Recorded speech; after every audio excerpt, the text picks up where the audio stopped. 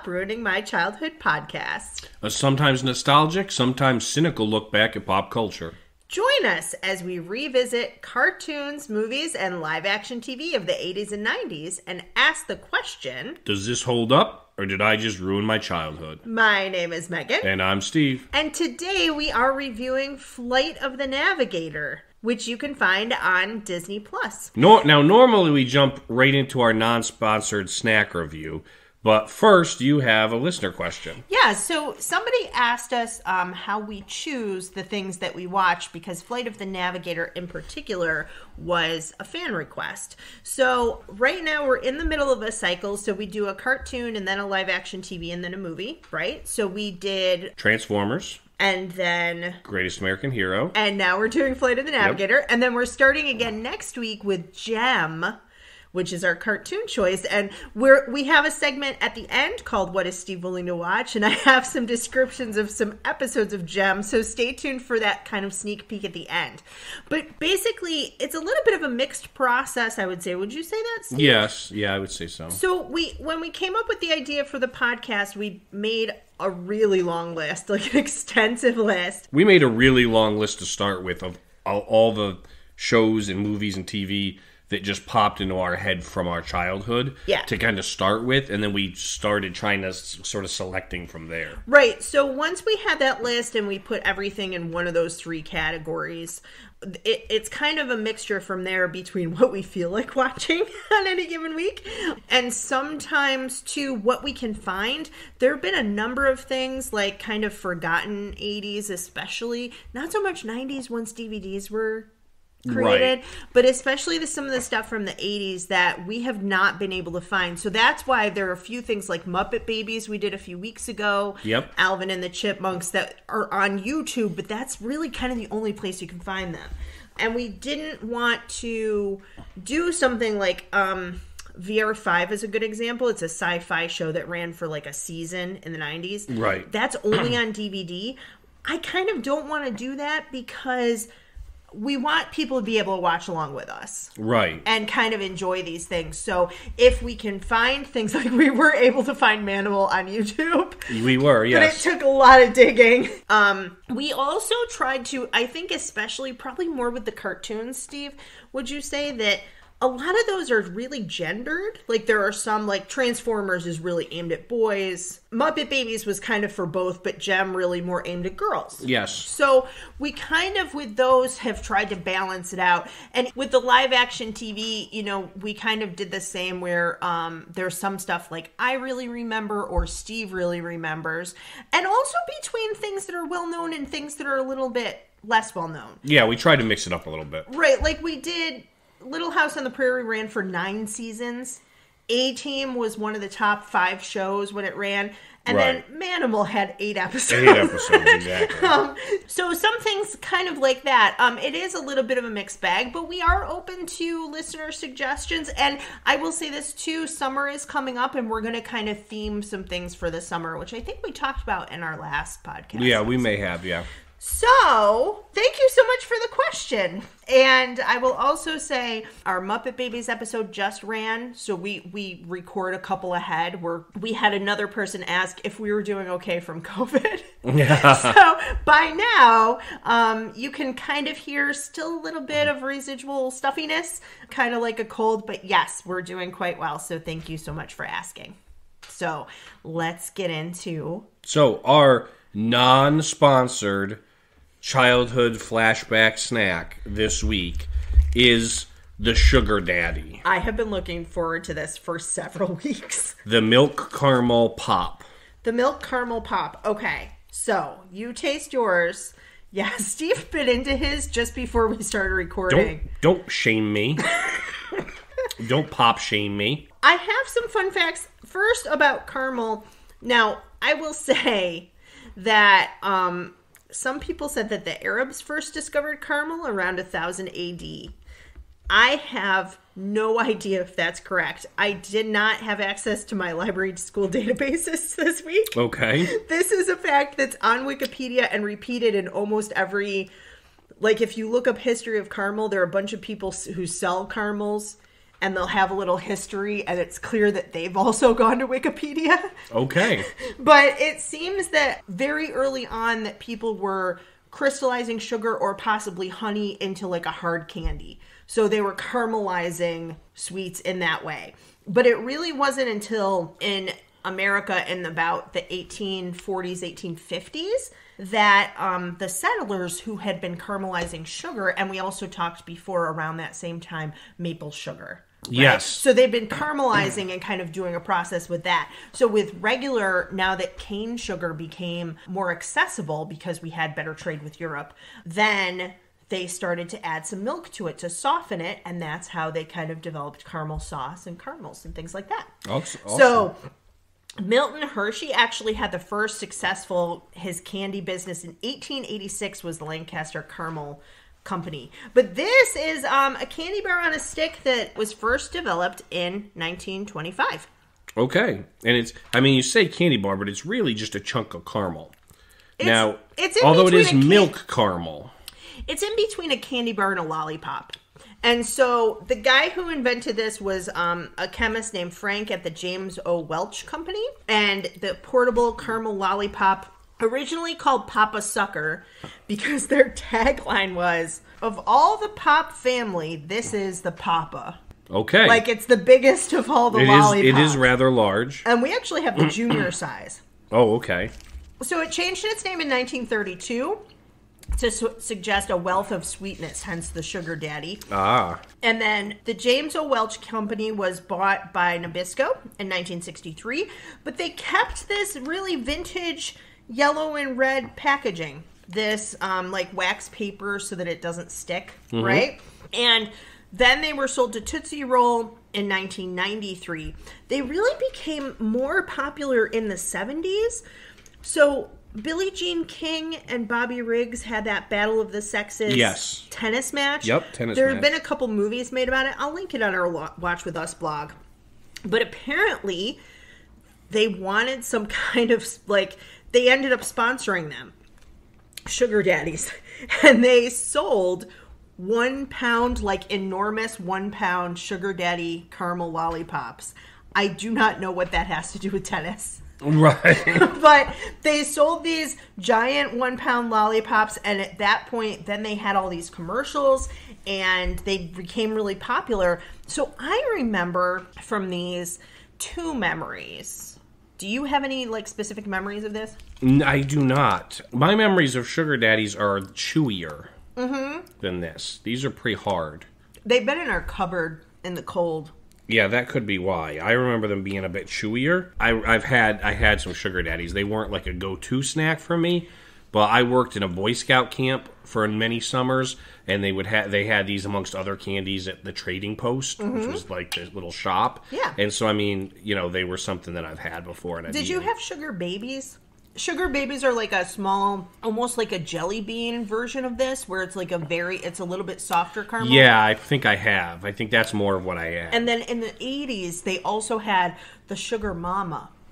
From 1960 to 1980, 1965 into the 1980s, which was they did the opposite. They instead of a yellow wrapper, they did red with, yellow, words, red- Okay, and I- it was it was covered in chocolate. okay. Interesting. No, I think you'd be surprised to know, but I've never had a sugar mama. I, I feel like I need to bleep that joke Nope. out. um, so my memory is actually well, my first one is they sold these at 7-Eleven. 7-Eleven was just around the corner from my house. It was about a block away, mm-hmm. and so we would all ride our bikes my my brother and my cousins and i we would ride our bikes to 7-eleven you could use your dollar to buy a sugar daddy. And my, my cousin i won't say which one but she used to stick it on the roof of her mouth and like lick it. Mm-hmm. And she'd ride her bike with this lollipop like stuck to the roof of her mouth. Mm-hmm. Um I know other people who would like dip it in milk. It does take a while to get through, so some people would freeze it. But my other memory is of camp as well. We had these in our camp store, and I was sorry to tell you, Steve, I did date other people before I met you at the age of 36. so, um, And this is when you had a sugar daddy. I did not have a sugar dad. Well, I had I had the candy. That's what I'm talking And about. I was dating someone, and I said, "Oh my gosh, these were my favorite childhood candies." So he bought two of them. We ate them, but we of course didn't finish them. So we put them back in his car on the dashboard in the summer. and they melted. They all over. melted into like into the dashboard. That's what he gets. it took us probably two hours eventually. And we couldn't even clean it because we were camp counselors. Right. So we had to wait until the weekend when the kids were gone and there was just caramel everywhere. But um because of that, I have not eaten one of these and that was I know that was 1999. So that's the last time I had a sugar daddy and they're my favorite. So 23 years. now I feel old. You didn't have to do the math on that. Yeah. so yeah, they're pretty good. So ratings. Okay, out of five UFOs for Flight of the Navigator, Okay.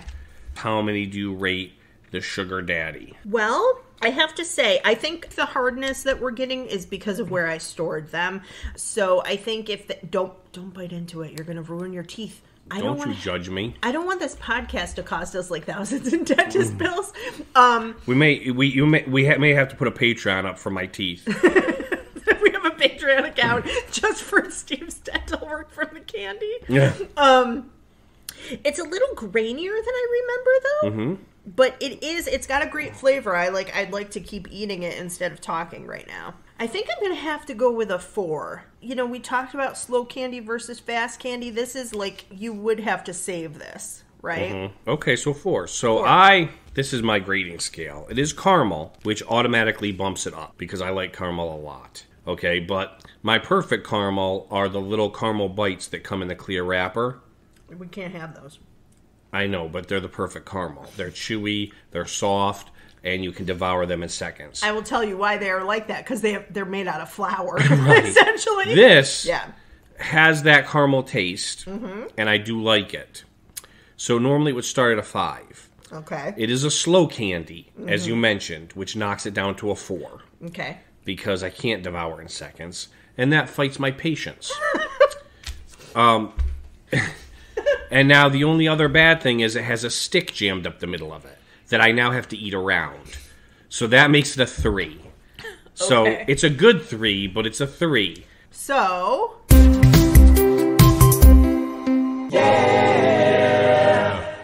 Three and a half UFOs. Three and a half UFOs for sugar daddies. Um, that's a pretty good score considering that it's a candy from 1925. It's almost 100 years of this Yeah, it's pretty daddy. good. There's no shame in that. I enjoyed it. But if you want to move it up to a five UFO Tootsie Roll Industries, pull the stick out, soften it up, and you'll get a 5 UFO. So basically, you just want sugar babies, which I don't like at all.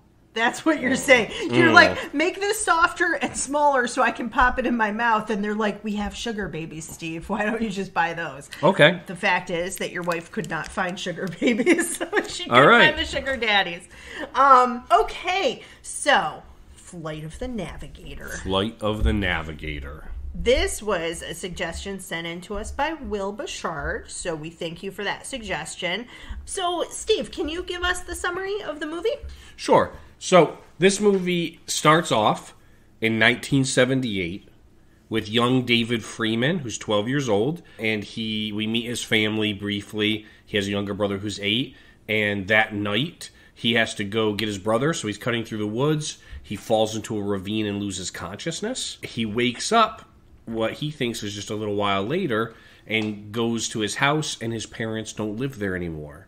And we soon find out that young David has missed eight years, and it is now 1986. Yeah, it's a cool time dilation. It's a time dilation, yeah. And so he doesn't know what's going on. The police are called, and they end up reuniting him with his family. But of course, they bring him to a doctor because he has not aged, and everyone else has. Mm-hmm. His younger brother, who was eight, is now 16, and his older brother. Um, his parents look older, and so um, there's a lot of confusion and things like that. At the same time, we see that there's a space ship that's crashed, and NASA um, confiscates that. Basically, they make the connection between David and the ship they end up coming and getting David and bringing him to their facility. Uh, David doesn't like being there. He escapes with the help of a friend that he kind of meets there, um, and with the help of the ship. And then there's a decent chunk of the movie with David flying around in the ship as the navigator. The ship, as we find, is an AI. It's an artificial intelligence. It's robotic, and so it perceives David as the navigator that kind of helps it get where it needs to get. And they fly all over the place, and you see all sorts of different scenic areas of the world um, Tokyo, under the ocean, Texas, California, Miami, all sorts of stuff. Before finally we find out that the spaceship has to download star charts out of David's brain. So it needs to scan his brain. So it scans his brain, gets its star charts along with some of his personality. So he becomes kind of a smart aleck, and they start fighting and arguing, and then they're driving. The, they're each taking turns driving the ship. And then at the end, of course, um, the ship takes David home, but he finds that there's NASA is there, and so are the police and everybody else. And David realizes that he can't really return home because he's going to be a lab rat the rest of his life. Right. And so he convinces the ship to make the risky maneuver of traveling back through time and trying to drop him off in 1978 where he left. Which apparently the ship can do, but it was worried because humans are delicate. Right. Yeah, So it, it didn't didn't- want to take it didn't want to take that risk with him. Right. And then that's how it ends. And it ends with him being dropped off and he wakes up in the ravine again and his family is how he left them originally and you know it's still the same night and they don't even realize what's happened. And then he tells his family that he loves them. He tells his family that he loves them. and then it's Fourth of July fireworks. Yeah. Yes. So, um, yeah, it's really interesting. I like that you mentioned that it's got a little bit of comedy and humor kind of in there because initially this was quite a more serious film. Mark Baker was a UCLA film student, and his initial version was called Vanished. And Okay. this is a quote from him. In my story, they build the ship from his memory, so they're experimenting with technology that they don't understand, but David does, and it gets to a point where he realizes they're never going to let him go. And apparently that was how it originally oh. ended. like Wow. much more dark. So this, you know, scripts get like kind of reworked and Yes. especially from a film student. So it was first picked up by Viking, which was a Norway-based company, production company. Um, still doing it in English, but they started apparently the filming and then they went bankrupt. So producer sales organization was like an action movie production company, and they wanted to have like the government tries to shoot down the spaceship and then chases and things like that. And then Disney then came into the picture to get the movie, and they wanted to more focus on the family story. So you can kind of see some of those elements, I think, in different parts of the film, which to me is kind of interesting. Different people considered for David included Joaquin Phoenix, okay. if I'm saying his name right, and Chris O'Donnell. Okay. Um, but they really wanted somebody more natural, and they they found Joey Cramer. Now he had had small parts, both before and kind of after he had like a failed Disney pilot. He had an uncredited part in Neverending Story. Um, he had a very small part in Clan of the Cave Bear, the Daryl Hannah movie. And really, what happened is that after this movie came out, he struggled with being so famous. He he's really in every scene of this film, which for a young kid is you're carrying the movie at twelve, right? Yes. And he wanted to be a normal kid, so they offered him Wesley Crusher on Star Trek: The Next Generation. And he turned it down. He turned it down to go and be a regular kid, but even after that, he struggled for a while. He got into drugs and things like that. Yeah, I, I have a list here between 2008 and 2011 careless storage of a firearm, possession of substances to traffic, consuming liquor in public, possession of a weapon for dangerous purposes, and then, of course, in 2016, he was arrested for bank robbery. Yeah, I I'm glad that he's doing well now. Like that's that's the important part. Um that is a lot of, you know, we talked about a couple weeks ago we did um Dream a Little Dream and that's what the the Coreys went through as well, right? Kids kids who went through the Hollywood system especially back then, uh, they just were not I hope that they're treated better now because the the exploitation in Hollywood was pretty bad.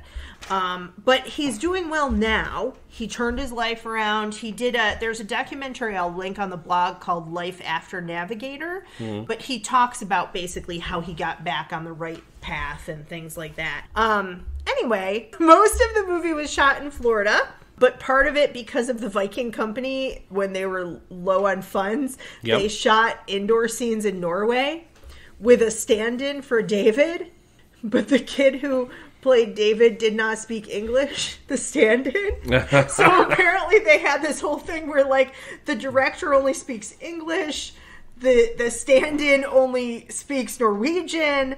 Um, it was quite a bit difficult. Interesting. They had the puppeteer for Max fill in for the voice while they were looking for somebody to find the voice. The producer, the new producer, once it was in Disney's hands, he saw an episode of Pee Wee's Playhouse and then they asked Paul Reubens to do the voice. And kind of famously, like now everybody knows that it's Paul Reubens. But at the time, he was doing Pee Wee's Playhouse and he kind of had that as a character Yeah. and he chose the name Paul Mall, which is kind of yeah, like that's what he's it's what he's credited as on the thing. kind of like the cigarettes. yeah, Paul Mall. Yeah. Um, so instead of getting a normal credit, because he kind of wanted to keep it like under wraps that he was doing this voice. it was not a secret. It, it- sounds exactly like Pee Wee Herman once he starts. Once he starts, he yeah, Yeah. there's a certain point where he starts joking around. Before that, though, I don't think I would have known. Oh, okay. But at any rate, the film was released a few months before the opening of Star Tours at Disneyland, where Paul Reubens also voiced the robotic pilot for that ride. I loved that ride. I, I Star Tours is like my favorite ride at Disney World, besides Body Wars, which doesn't exist anymore. so Randal Kleiser directed, and he he was known for Grease mm-hmm. and Blue Lagoon. I can't say that without laughing. He also later on worked with Paul Reubens again to do Pee Wee's Big Top. Mm-hmm. And he did another Disney ride. He did Honey, I Shrunk the Audience, which is like a 4D theater kind of experience. Yeah. Because he had also directed Honey, I I Blew Up the Kid. Okay. So not Honey, I Shrunk the Kids, but like the sequel. What I find interesting is that they have all this connection to you know Disney. There was the ride, there was all this, and I always remember Disney's Flight of the Navigator. But it was sent to Disney originally, and Disney didn't approve it. They sent it to PSO and made a deal letting them distribute it in the United States. Yeah, it seems like they With did- them basically staying as the overall. They had had and i can't remember now which movie it was but they they had another movie with like a space connection and it hadn't really done well and this is also if you remember from when we did splash mm-hmm. they haven't had quite and also who framed roger rabbit so they haven't they've just started to branch out into touchstone Yes. they haven't had yet the Disney Renaissance in terms of animated features. So this is kind of like a weird middle like they did a number of movies like this that were like family films that I don't want to get too much into the reception. I'm guessing it kind of did okay. Right, right, yep. So, uh, some of the other people starring in this, okay, here's what bothers me. If you look this up, we're going to tell you the truth here on this podcast, folks. If you look up like Flight of the Navigator fun facts or mm-hmm. Flight of the Navigator history, almost every website says that this is Sarah Jessica Parker's first film. Sarah Jessica Parker is probably best known for Sex in the City, mm-hmm. unless you're Megan and you really know her from Footloose Right. um, which she did before this movie. She also did Girls Just Want to Have Fun. And she actually, it's kind of like Jennifer Aniston with Leprechaun. Like, she doesn't like talking about this movie for whatever reason. Okay. My guess is that, it, you know, she has kind of an important role in the film, but she's not actually on film that long. My guess is she Yeah. didn't film it that many days, and she kind of has said, like, She's not a lead. She's a supporting actress. Right, and she's kind of said like, I went in and got a paycheck for two weeks. Like I don't really remember it that well, and I Mm-hmm. Right. don't really know too much even what it's about by this point. You know, the mom is played by Veronica Cartwright, and she's known for a lot of sci-fi and horror. Alien, Mm-hmm. Invasion of the Body Snatchers, Witches of Eastwick, tons of stuff. The dad is played by Cliff DeYoung. Now he's done like a number of movies and TV shows. Both he and the kid playing David had um, small roles on Murder She Wrote, which I think Okay. because everybody, every actor from the 80s and 90s did. Um, but he was also in a 60s rock group called Clear Light Okay. which I think is kind of interesting. Matthew Adler, who plays the older Jeff, the mm-hmm. 16 year old Jeff, we just saw him in Dream a Little Dream. yep, he played Demas. He played Dumas, and he was also in Teen Wolf. He does a lot of voiceover work now, and he's married to Laura San Giacomo, who is Oh, okay. in the better version of The Stand, which we'll talk about someday. Howard Hesseman plays NASA's uh, top guy, Louis Faraday. He was also in WKRP and Head of the Class. Johnny Fever. Yeah, I know him better from Head of the Class. He was the teacher and head of the class, right? Yeah. Yep. And it was a show about nerd geniuses. Of course, I Mm-hmm. was watching that. Yep. Howard Hesseman uh, just passed away in January. Oh no! Oh, I'm so Um, sad. complications to uh, colon COVID. surgery. oh my goodness! He was 81, so I mean, he lived a long life. Bring down the podcast. I'm so sad about that. Um, so moving on from the casting, the effects, the special effects were really cutting edge for the time. They were very early CGI, essentially not all of them, because you can still be you can still go on the ship. It's like on the Disney backlot somewhere. But this was done in a really complicated way, and I don't totally understand it. But it's basically they digitized moving images from videotape, and then they transferred them onto background film plates and they rendered this spaceship using at the time basically a supercomputer. Yep. and this, the computer would crash like five or six times a day because it was like trying so hard to render the spaceship correctly. Um, so it kind of caused chaos in the production. And then we also have a high-tech soundtrack this was composed by Alan Silvestri, who's a very famous film composer. But this was the first soundtrack that he did. Now, I'm not talking about like the songs that they put in, but the score, mm-hmm. right? So this was the first score that he did that was completely digitized on synthesizers.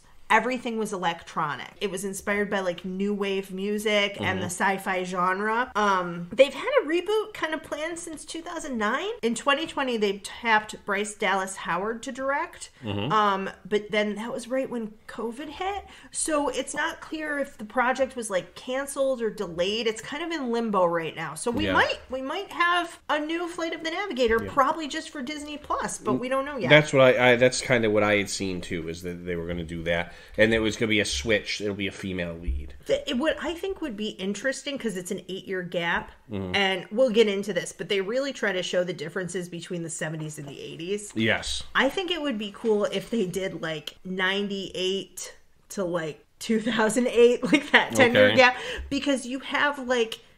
We have internet, but it's not great to like everybody has internet and cell phones, and Right. the internet is on the cell phones. Yep. You know what I mean? I think it would be a really cool jump. So, with that, we're going to take a brief break. And when we come back, we'll talk about our memories of the movie and then we'll get into our full review and recap. This podcast is supported by its creators. And listeners like you. Help keep our show ad free by visiting our website, stopruiningmychildhood.com. There you can find links to our social media. And this very podcast you're currently listening to. Both Megan and I are authors, and you can find links to our books on our About page. And on our Watch With Us page, you can find videos and links for all the shows and movies we discuss on the podcast. And more importantly, links to buy the nostalgic snacks we review as well. We also post bonus content about once a month. So like, subscribe, and follow. For a small independent podcast like ours, it really does make a difference. Thanks. And now back to the show. All right, welcome back. My name's Megan. And I'm Steve. In case you forgot. Um, so memories of Flight of the Navigator. Did you see it in theaters? I did not. I saw it at the drive-ins. Oh, that's even better. Yeah. I remember seeing it at the drive-ins. Would have been in the summertime, 1986. We used to go to the drive-ins a few times in the summer when I was a child. I remember seeing it, the, and I remember pieces of it and liking it. But I'm going to be honest, that was probably the last time I saw it. Really? Yeah, so we're. So I mean, you didn't have it on VHS or DVD or anything like that? no. So I mean, we're talking, you know, thirty six years probably. Yeah. it's been so I saw it. No, we never had it on DVD or anything like that. How I know you have a really good memory. Did you remember a lot of it, or did you like? Was it kind of like watching it Most for the of what I remembered was the scene was him in the ship Right. with the ship swiveling around talking to him. Yeah. that's most of what I remembered. I didn't remember a lot of the other stuff, but that would have been kind of boring to. I mean, at the time I'm nine, right? So to an eight or nine year old, that would have been a little bit dull. Some of the talking parts would have been a little dull. Yeah. Well, for me, those are the parts I remember too. But the reason for that, Steve, Steve and I kind of laugh about this all the time.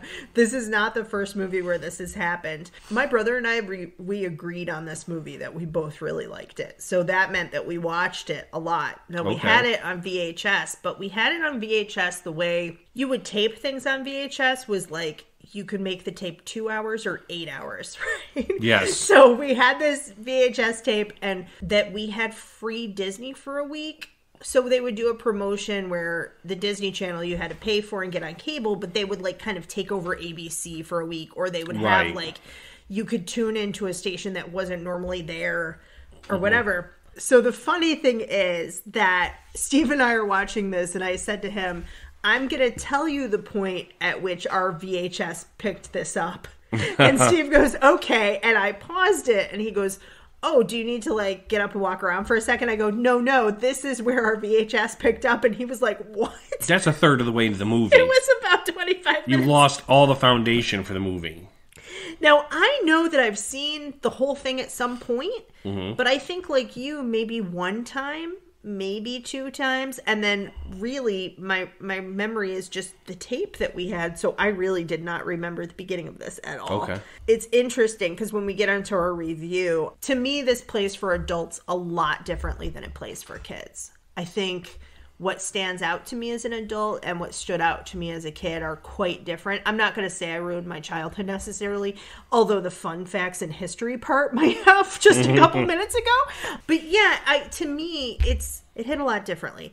I, I will tell you my other memory that I will say is as much as I remembered the scenes with him in the ship with the with the machine, Max as he calls it. I don't recall Pee Wee Herman being in this. Mm. And when we were preparing for this and I was doing some research, I saw Paul Reubens plays Max, and I'm like, really? I don't remember that at all. And then as we watch it and he starts talking, I go, oh, that's definitely Paul Reubens. Yeah. Like, if Pee Wee's Funhouse was just beginning, mm-hmm.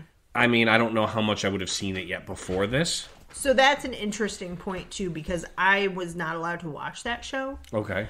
And also much later like in the 90s i was probably in middle school somebody had they were going to watch one of the pee-wee herman movies. And i was like it was very um kind of dark and crass and it was not for me. And i was just like okay bye.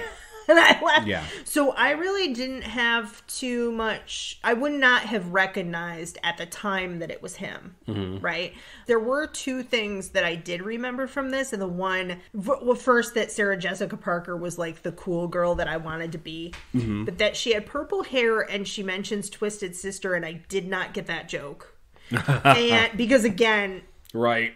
I was would not have been listening to that or been allowed to. And the second thing is the the gas station attendant that they make fun of. Right. I don't want to kind of preview that too much because I want to talk about who that is and, and what Right. that particular actor is doing now. All right, so Yeah. let's jump into the full review, right? Um, this really movie is kind of three acts. In the first act, we start off, it, it opens with 1978, and the family is watching a dog frisbee competition. Yeah, they have some fake outs here. There's some great fake outs in this. In the it, there's the frisbee, there's the blimp, yes. and then a water tower. All when he looks up and you expect to see a spaceship. Yeah, so I kind of liked that because it builds up that anticipation. The frisbee is a really cool visual kind of a joke, but it, it's Yeah. a really cool visual because it's this like um, slow motion of a silver flying object with the city in the background. Yeah, as the credits are opening, and I mean, if you if you went Yeah. to see this movie, you knew you're going to see a spaceship movie. Yeah. Right, I mean, so you're of- expecting it. Yeah, so you assume that that's what it is, Mm-hmm. and you're like, oh, we're going to see the spaceship right away. So they build up your anticipation. To me, this is like, you know, we talked about this with Willy Wonka, how they build up your anticipation, but it takes forever. Yeah. This was just the right amount of time. The, the blimp comes, and the parents are like, they just kind of stand for a second, and the sky goes dark, and then they look up, and oh, it's a blimp. Yeah. which is funny to me. Yeah, so the first part kind of establishes the characters a little bit that, you know, it's just kind of a normal American family. I think that's what they're trying to show. They do, yeah. And you know, his brother's a pain in the butt. And Yes. he's kind of, you know, he's younger than him by four years, and and they're calling each other names. Um, so it's interesting. And then you know, quickly, it's they get home and it's that night, and he has to go get his brother, and his brother kind of jumps out of the woods and scares him, then runs off. And it's at that point that he falls into the ravine. You know, they could have done like lights from the sky or something, and they don't. They don't He do falls in the ravine, and then it's like a minute later he gets up and he climbs out of the ravine and goes home. yeah, I really liked that because his point of view is that for him, nothing has happened. Yes. That he did fall in the re. So they almost set it up to be a little bit of a mystery. And it's your point of view too. So it's not like you realize that eight years has passed. Right. You don't find it out until he's figuring it out and finding it out. Um, so so David comes to before we get to his parents, you know, and his reunification with them. Mm-hmm. David comes to talk about the house.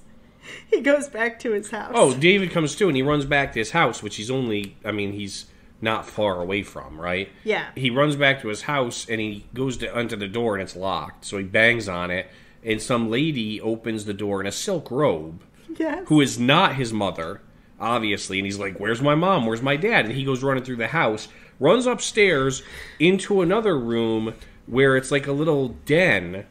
And there's a man sitting there in a silk robe with a sh- with a, an Oxford shirt and slacks on under the silk robe.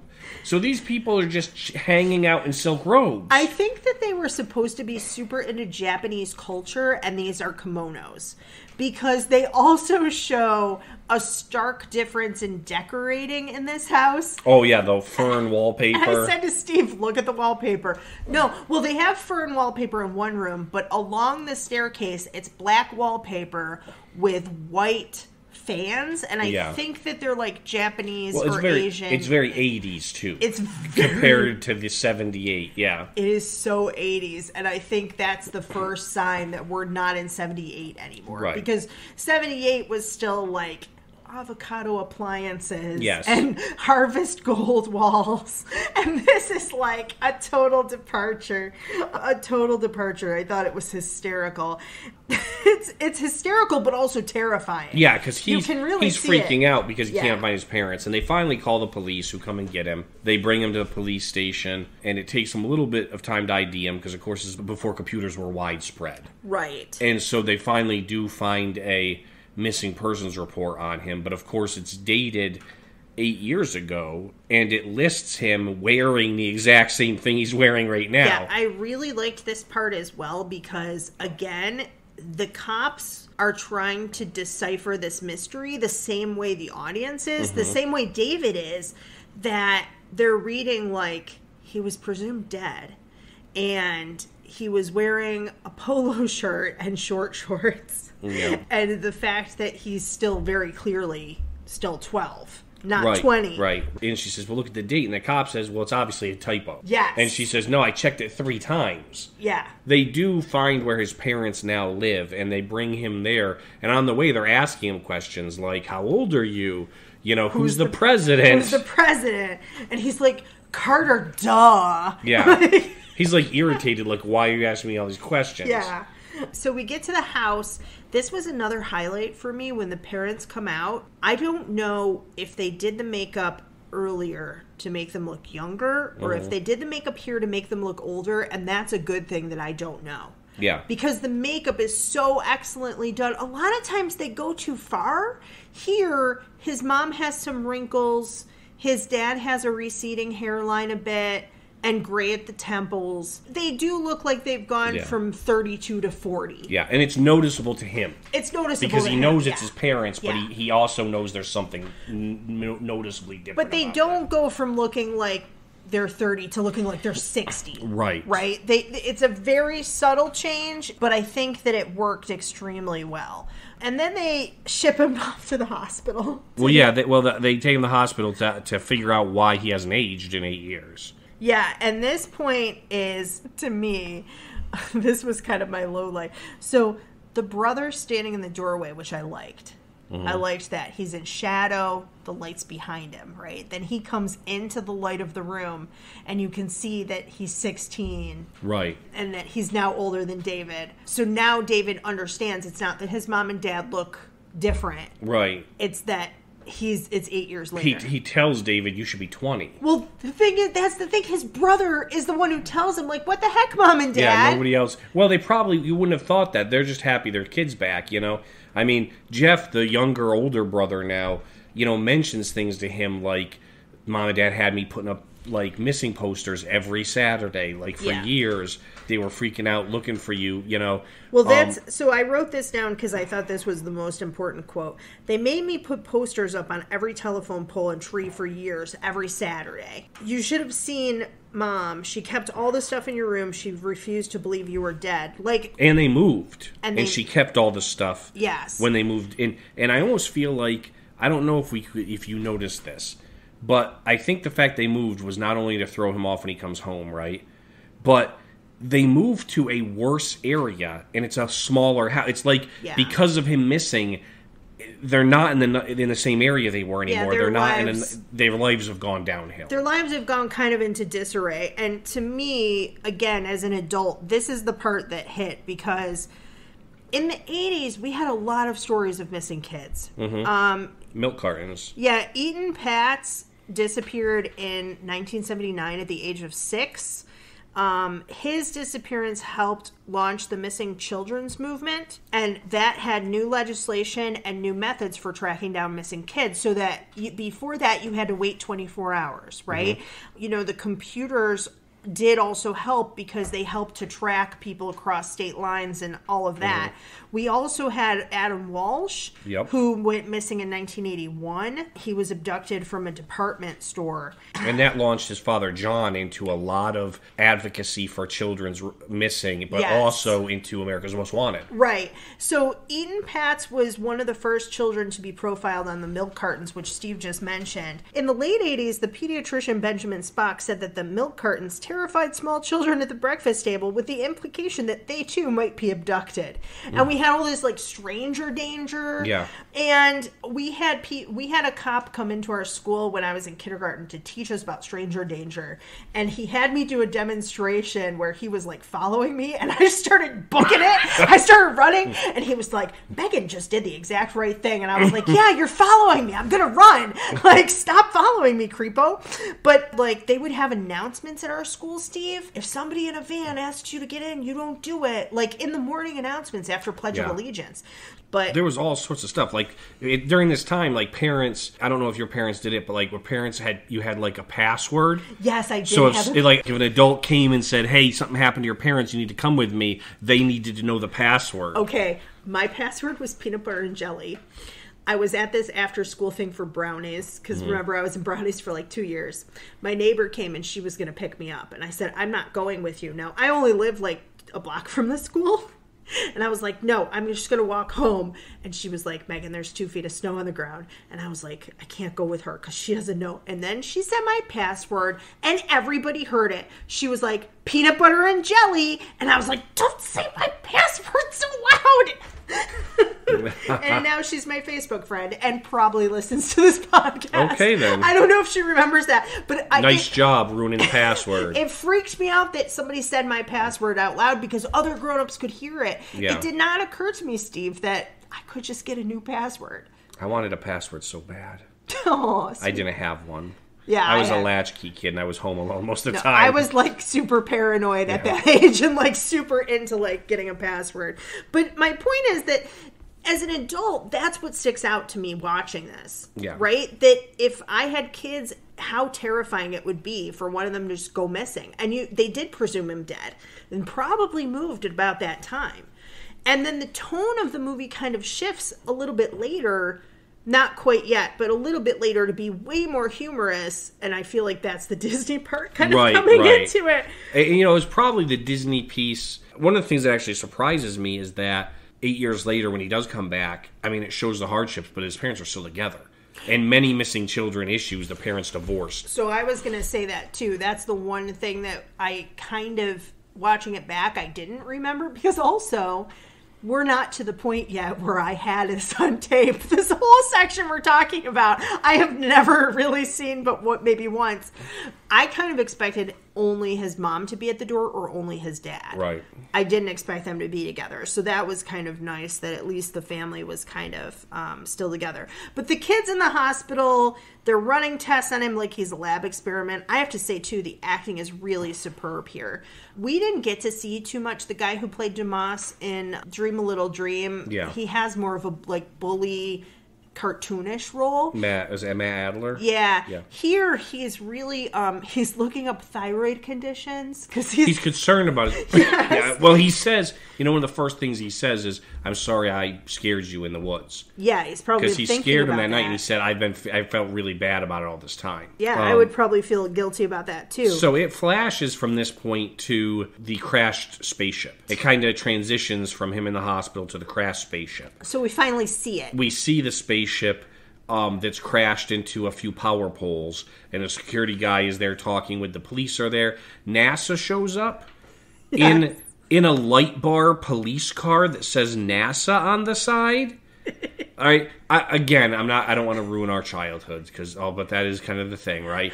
But I feel like the screenwriters here didn't have a really strong understanding of NASA and their and how far their reach is because they don't have the ability to have police cars with NASA on the side. They don't have the ability later in the movie to basically keep the family in their house. Well, let's think about this though. They don't right now. Right. But this was like space race. Well, it's the space race, yeah, but still, I mean, NASA I mean, is like but, it's but a lot of physicists and mathematicians, and they are slightly connected to the Air Force. I'm just saying that Reagan put out Star Wars at this point, Right. which was like a defense plan for possible defense system, Mm-hmm. like using NASA.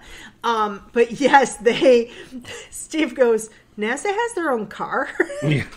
With a light bar, like a police car. I'm like, hilarious. like even if it was just a company car that had a NASA logo, okay. They, they also, I wrote this in my notes.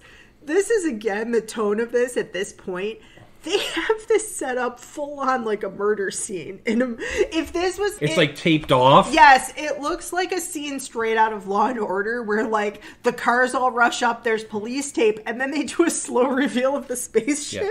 There's police tape around the the per- the perimeter, but the spaceship is floating. floating. It could just go right past the police tape, And he goes, How are we gonna move it? And the guy just touches it with his finger and it just and it floats. it just kind of pushes away. Yeah. Oh my goodness, it was hysterically funny to me. Like, I don't know if they intended that to be funny or not, but why did they have it roped off like a murder's happened? So we we have then the transporting of the ship, and then David wakes up in the hospital and he goes, It's hurt and it's calling me. Yeah. And Jeff is reading about thyroid conditions, trying to figure out if that's what's wrong with his brother, which I thought was so sweet. It was. Yeah. Um, and uh, and then they go into some other tests. And David kind of doesn't want to say what the dream was or what he heard in his mind. Right. And they hook him up to a biofeedback machine. Electrode machine prints out a picture of the spaceship, Yes. and that's what gets NASA's attention. so then they send that to NASA. Somebody presumably at the hospital knows this guy. Yeah. Um, I mean, it probably it, it takes a while, most likely because it was a big print and they had to fax it. they have this really cool shot. Whoever, you know, the guy who directed this did Grease and Blue Lagoon, but this is such a cool directorial choice where they pull out the print the printout very slowly and he looks down and then he looks up at the ship but you don't see the ship. You see the ship reflected in the glass that mm-hmm. he's behind. Yes. it's just such a cool shot. Yeah. it was so that was one of my highlights there. It kind of reminded me there's a couple different movies that reminded me of like splash or et fire starter mm-hmm. that there was this kind of fear in the 80s and i think it kind of came out you know in the public imagination especially after watergate in the 70s mm-hmm. that the government does not care about you and that they will experiment on you. Right. and you know we talked about child abduction but the the lore of alien abduction kind of came about in the 70s and early 80s as well. So it, the, the mishmash of that here so he agrees to go with the nasa folks Yeah, that really moves us into the second act, which is his time at NASA. yeah. And he has no phone, he's locked in, but he does have a remote control and he turns on the TV and it's MTV. Yes, which he, of course, has no idea what it is. And Sarah Jessica Parker comes in and he's like, What the heck is this? Where's Starsky and Hutch? it's my favorite show. And she says, They canceled that like a long time ago. Yeah, this have you ever seen a music video? He goes, No, and she goes, Weirdo, and he goes, I'm not the one with the purple hair. That joke is right where my my video picked up. so Okay. that's how far in we So were. So basically, a third of the movie. Yes. you've missed all of this groundwork of him being, in- to, you know, him losing eight years of his family. Well, you kind of pick that up. Right. But it doesn't set the stage at all for like the, the torment his family's been through. Right. Or the fact that he's kind of in a precarious position, right? So she says, uh, yeah, she goes, yeah, I got it at a concert. And he goes, oh, I've been to a concert. My mom took me to the Bee Gees. yeah. And she's like, just looks at him like, what she kind says, of nerd I are went you? to Twisted Sister. And she says it proudly, like, you know, because Twisted Sister was a big deal. Oh, gosh. right? And he goes, Who's she? yes. Awesome joke. Such a good joke but i did not get that at the at the age of like 9 or 10 Right. whenever i watched this but it's a good joke but the idea of how much the world has changed just in those eight years that we've gone from Bee Gees to Twisted Sister, that we've gone from Starsky and Hutch to I Want My MTV. Right. Right. And he would be 20 and she's an intern. So she really is like his age. I wish that they had done like a tag at the end. I want I wanted older David to get together with her. Because he remembers at the end what happened. Right. But he this is another good joke. He asks for uh, he's like I'll have a Big Mac and a Coke if that's still around. And she goes, Well, yeah, but do you want a new Coke, classic Coke, cherry Coke, Diet Coke, caffeine free Coke? And he's like, What? Like, I just want a Coke. My goodness. So they start running tests on him, and the promise here when he came to NASA was he'd only be there for 48 hours. They start running tests on him, and they, they put the electrodes on him as well. And every time they ask him a question, he says, I don't know, but the answer pops up on the screen. Which I thought was really cool way to do it. Like too. they say, Where have you been? And he says, I don't know. And, he, and it says, Under assessment at Phaelon. Yeah. which is the name of the planet. They ask him a number of other things that shows specs of the ship, of all of, of the alien language, star charts, all this stuff that's in his mind that he didn't know was in Oh there. yeah, and Louis Faraday even says this is going to take years for us to decode all this. Yeah, he said 48 hours is not enough time. Yeah. So you can tell right away that he's kind of in trouble. He Yeah. also they also have Louis listening in on his phone call to his parents. Uh-huh. So he's like on the other line. And again, you get this sense of really being trapped. David also realizes that there's men behind the glass. He's like, I've seen movies before. Right. I have a TV now. Um, so there's two-way mirror basically, Uh-huh. like in cop shows. Right. Right? um, and they're kind of watching him that way as well. Basically, they talk about the science a little bit. He moved beyond the speed of light. He was gone 4.4 hours, but the Earth aged eight years. So they're kind of using Einstein's theory of relativity. This was interesting. It's light Yeah. speed theory. And this jumped at me because I know light speed theory from one of my favorite books of all time, Ender's Game. Yes. by Orson Scott Card. Yes. Right? In Ender's Game, Ender, near at the end of the book and in, in the sequel, is traveling using light speed theory, which basically says that you can never reach the speed of light. But the closer you get to the speed of light, the the faster time works. Or the, technically the slower time works where you are, but other places not. Right. So basically, if you were flying near the speed of light and you traveled out to Pluto, Mm-hmm. and it took you four months. By the time you got back to Earth, like sixty years could have gone by. Yeah, by. they kind of use this, like, they kind of play with it sometimes in Star Trek. Like, it's implied that some of the characters are older because they've been traveling around faster than the speed Yeah. of light. And it's interesting because Ender's Game came out in '85. Not saying they're connected. It's just that that was kind of a, a science fiction thought process that was going on. Yeah, so it's one of those sci fi tropes that's kind of Yes. in the ether. Basically, the ship calls to him in the night, calls to David, and we move toward Act Three.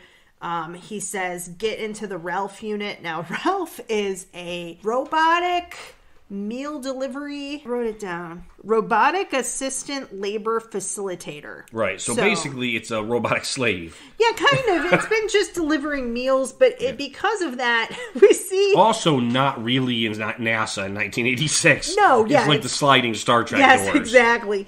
And also that you could have had something like this controlled by remote, but this is like a self-driving car, right? And what's hilarious is this thing goes all over NASA property and nobody cares. Nobody cares. What's also interesting is I did have this part on the tape. I thought that Carolyn, Sarah Jessica Parker's character, I thought she helped him get out. And she really doesn't. She has No. been following around this robotic assistant as the intern, giving meals to people and mail and all of that kind of thing, delivering snacks to workers or whatever. So she didn't have as large of a role as I remembered. No, it seems more like Max is controlling Ralph. But I mean, in reality, Ralph basically looks like an airline drink beverage cart, Yeah. but made to look futuristic. I think that's likely what they used for the body of. And then, so, okay, so the spaceship has been in the warehouse the whole time. And it's just like one smooth piece of like Chrome, chrome, uh, looking metal. titanium Yep. looking stuff. And there's no way in and no way out. They can't figure out what it is or how it works or whatever. And then David touches it and the stairs come down. Yes, and the stairs aren't connected. No, and it's and they so cool. completely defy gravity because you can step on it and it doesn't even it's floating Yes. each step is floating but even when he steps on it it doesn't like sag or move. It's solid. The ship is completely shiny metal and very chromatic. And this is one of the very first movies that they utilize special effects to show reflection in chrome. Yes. and it's re- done really well. It's done very well and also that part to me held Yeah. up. Now there are a couple times where it looks kind of animated. There are a couple times where it looks maybe like today you would say was that green screened. Mm. but even that there's there are other movies with cgi that do not look this good. I wouldn't complain if i saw this in a sci-fi show today no it was really cool so then we have paul reubens doing a slower voice in the beginning for Mm-hmm. max which is excellent which is excellent. And David gets in, and we have a dialogue between them where the um, Max, the spaceship, which is short for like trimaxion Trimaxian drone. yes So, kind of like that it's never fully explained. Um, but the implication is that the alien planet, that they send out these drones to collect species from other worlds. yes And so the drone is like an AI, but not the alien itself. Right. This is not the alien. And yeah. it's not an alien piloting it. It's No. more like an AI that this alien race has kind of created. Yes. That's the implication. Yep. Um but I kind of like that it's not clear because like a lot of these kids stuff it doesn't matter. You don't need the info dumping, right? Right. You get he The says ship's cool. That's all it's matters. just a cool ship and he says i've been collecting species and then they go over and show them i really liked here the puppetry work Yeah. of the little species but also of max Looks like, one a of those fancy dentist light, yes like the on the arm that you can swing around. well, it reminded me of that first cartoon from pixar with the hopping Oh, yeah. lamp Yep. but the way that they t- they move the light it really you do connect with it like a face yeah, it seems to move in an organic way. Yeah, it's really really cool, and I love that. Then this chair comes rises up out of the ground, and, he then the sits into it, controls, yep. and and David sits into it, and Max says that you're the navigator, you're the one who has the maps in their Mm-hmm. head. We have to do a data transfer. So David's overwhelmed at first, and he just says, "Get me out of here!" And Max says, "Where would you like to go?" And he says, "20 miles away." Yes. And he shoots him 20 miles straight up into space. And then we have a little bit of anti gravity where David floats. David just floats for a to- just seconds. for a second. Yeah. Yeah, it's really cool effect, and it's kind of a funny joke. Um, and then we come back down, and then we kind of start this actual, which is the title, right? The flight of the navigator. Yes. So we start into that section. Um, for me, this is the weakest part of the movie, and part that I loved most as a kid. The NASA part or the flight of the Navigator? The flight. Really?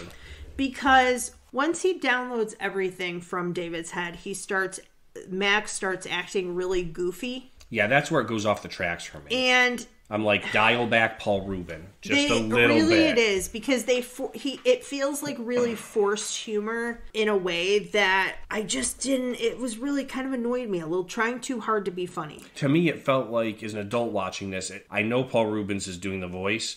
It felt like Paul Reubens has two options: serious, nice voice, or Pee Wee Herman, and that's the only two characters he can do because it very much sounded like Pee Wee Herman. Yeah, and the part that really okay. There because here's the thing there are jokes here going up 20 miles right. That's a really good joke. Um, then we come to they're flying around and they go back and forth. Another good joke is they accidentally go left instead of right and they end up in Tokyo Right. instead of Miami. And um, and we get to see the skyline of Tokyo and everybody tries to take a picture Mm-hmm. of the spaceship.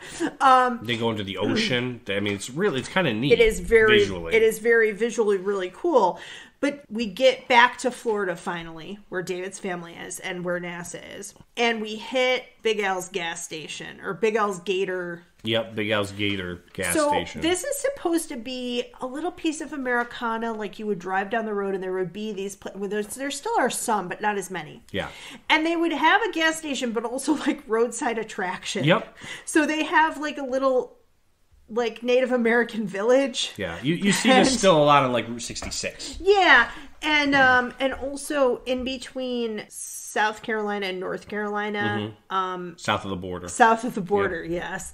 So like a roadside attraction. The guy who's the gas station attendant, Max goes, "Oh, that must be Big Al."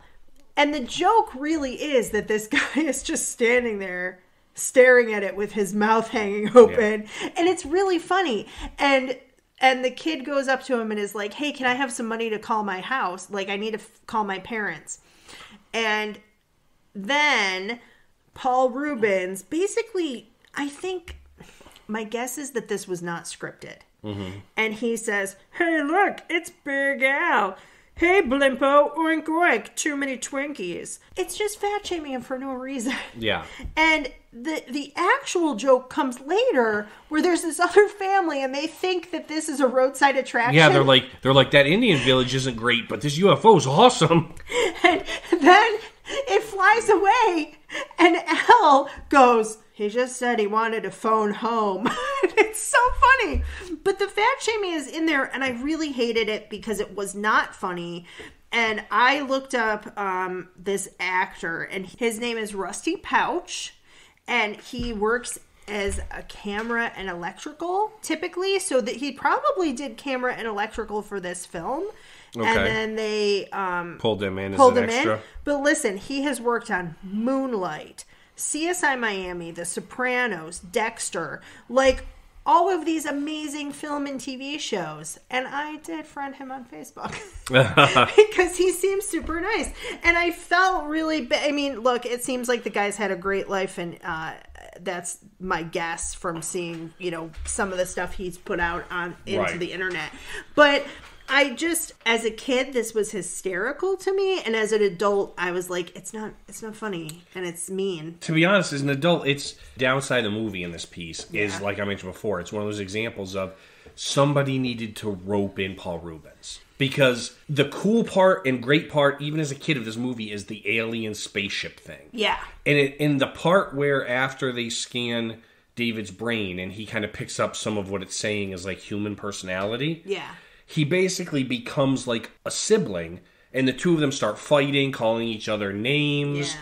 And you almost want to turn around and yell at the back seat, like when you're an adult and you're like, "Stop Yeah. fighting with each other!" Yeah. And it it was annoying. It wasn't funny. It wasn't impressive. Yeah. It would have been a way better movie if they kept the world tour part and looking for directions, but he stayed in the same alien mode that he'd been in earlier. I think so because I feel like you said the cool part is going up into space so quickly and then zooming across the Nebraska Yes. prairies and then going and then they stop they stop and there's a group of punks in a car listening to like punk rock synth music Yes. and they ask them for directions and the punks suddenly become really wimpy and are like drive away you know Yeah. it's though there's natural comedy that comes out of this that it didn't need to be forced. Having said that, I don't know if that's adult eyes or if that's just 2022 eyes where that's not the kind of humor we have anymore. Right. Humor is often very timely, and I can say that as a kid I did think it was funny. As an adult I don't. Um but yeah, we have um we have them zooming around and then we kind of come toward the the ending. Yeah, we come to the ending where they figure out how they find their way back to Fort Lauderdale.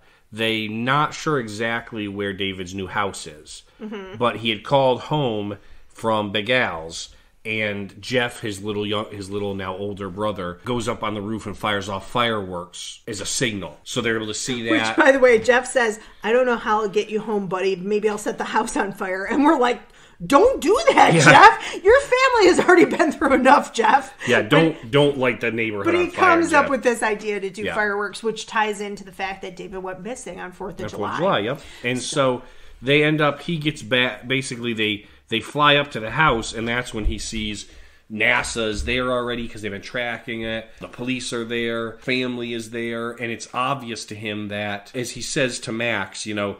They're my family, but it's not my home. I don't belong here. I'm Yeah. going to be studied like a lab rat my They're never going to leave me alone. Yeah, this is my home is 1978 Yeah. and that's when you know they've dropped hints earlier in the movie that normally Max would time travel the specimens back to where they were picked up, Right. but that they didn't think that he would be able to handle it, and it wasn't a risk they wanted to take because it's made obvious that while Max picks up specimens and different in- life forms from planets, brings them to be assessed at Phaelon, they then return them back and leave them as they were.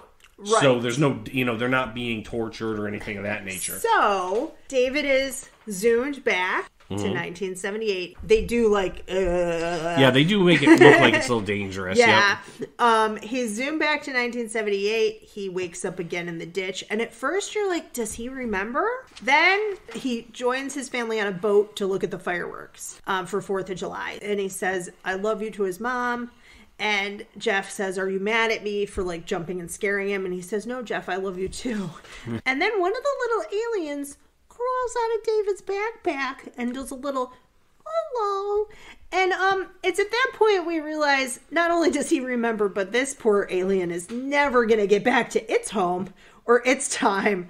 And I hope that David keeps it safe because we don't want it studied under a microscope either.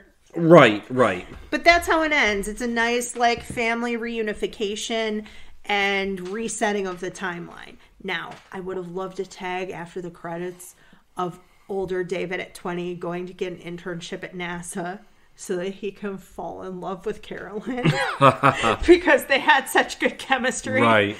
Um, not like flirting chemistry, just like on screen, like they had good witty banter. right. Um, and I would have loved that. We don't get that ending, We but that's don't. okay. It's But a that's family. all right, yeah. it's a family film. So reception wise, the movie did fairly well. It cost nine million dollars to make. That was Okay. the budget.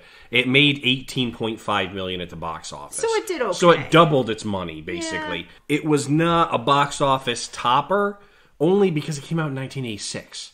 Yeah. Okay, Top Gun, Oh. Ferris Bueller's Day Off, Howard the Duck, right? Howard the um, Duck. Stand by Me, Oh, that movie. uh, The Money Pit, The Karate Kid. These were all um, movies that came out in 1986. I want to revisit all those except Howard the Duck. Peggy Sue Got Married, Oh, yes. um, Transformers the movie, which we talked Talked about. yeah. So, but it was not a flop. and it didn't lose money. There's also like this weird, you know, a lot of those movies you mentioned, I think of like Ferris Bueller as being a teen movie, but it really was marketed as like same thing with Back to the Future. When I, we have watched Back to the Future Yeah. together, and it is.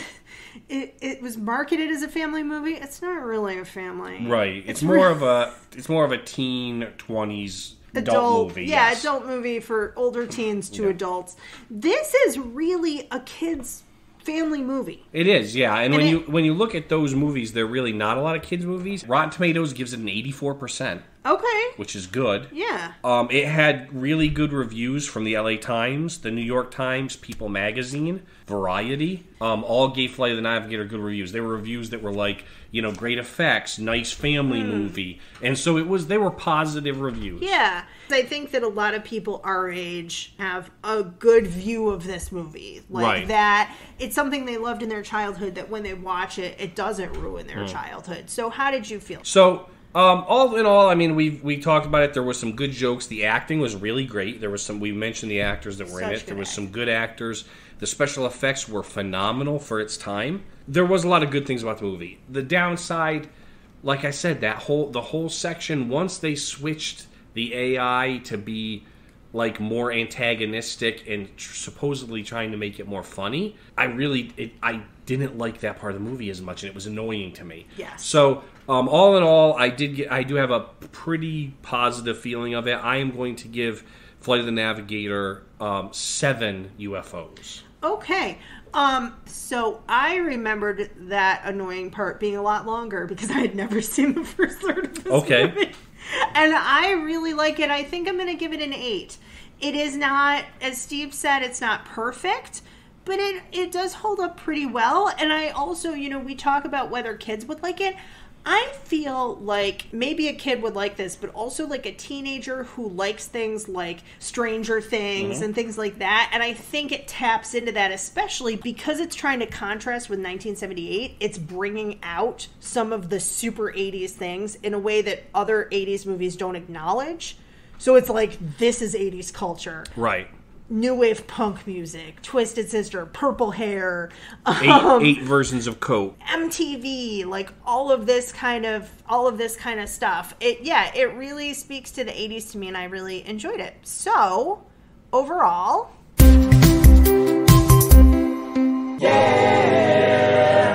Seven and a half UFOs. Seven and a half UFOs for Flight of the Navigator. So that kind of wraps up our discussion of Flight of the Navigator. Now, for my favorite part of the show. What is Steve willing to watch? Okay. So Jem is our next show. Jem is our next show. Just as a little tiny preview, because I don't think these descriptions make sense if you don't remember. Mm-hmm. Jem is about a it's a cartoon. It's about a kind of a pop band. And I think that they have holograms as like secret identities. So the girl's real name is Jerrica, but she goes by Jem. Right. Then there's the Misfits, who are their rival band. And they're more like punk, hard edge kind of, Yep. but I think still poppy. Yes. Okay, so we're gonna watch the pilot to kind of establish how the holograms work, and then we're also gonna. My choice was season one, episode three, Battle of the Bands. Okay. I just thought that sounded like a cool. It does sound cool. for for I'm assuming it's probably when the Misfits really come in. Yeah. So here are your choices. Mm-hmm. Season two, episode three, The Scandal. Kimber faces humiliation when the Misfits steal her diary and give it to a tabloid. Season 2, Episode 4 One Jem Too Many. When Jem has erratic behavior, the band stages an intervention to confront Jerrica. I don't know what kind of an intervention. Season 2, Episode 5 The Bands Break Up. The Holograms and the Misfits don't know what to do when Kimber and Stormer break up the bands and form a new duo. Number 4, Homeland Heartland. Jem travels to Yugoslavia to film a music video and to help Dance better understand her mysterious past. Okay. Number five, season three, episode seven, Midsummer Night's Madness. Jem is caught in a love square with Rio and Riot when the holograms are scheduled to perform with the Stingers in Greece. Okay. So, we have uh, Tabloid Diary, Intervention, Bands Breaking Up, Yugoslavia, and what seems like maybe a twist on Midsummer Night Dream. Okay, how many am I choosing? Just one. Okay, let's go with the intervention. Okay. One Jem too many. Yes. Jem is going to have an intervention, and the the band's going to confront Jerrica. Sounds good. Okay, so that is what is coming up next week. For this week, Flight of the Navigator, we gave it a seven and a half. You can find it on Disney Plus, and you can probably rent it on Amazon Prime as well. If you can, I'll link both of those on our Watch With Us blog. Yep. And until then, have a great week, everybody. My name's Megan. And I'm Steve. Bye.